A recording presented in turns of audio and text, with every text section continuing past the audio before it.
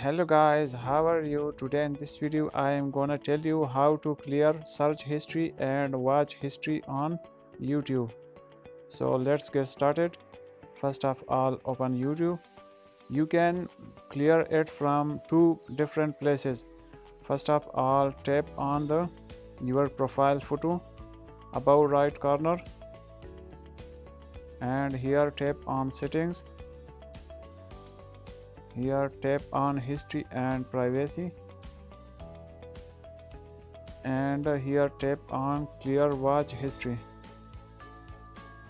Here you can clear watch history and here you will uh, clear search history.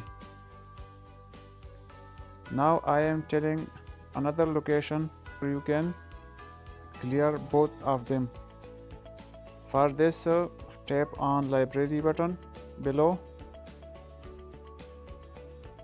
Now tap on history. Now tap on above right corner three dots. Here tap on history controls. And here above clear watch history and clear search history. These are the options you can clear both of them. So i hope you will like this video and also subscribe to our channel. We'll meet in the next video. Thanks. Goodbye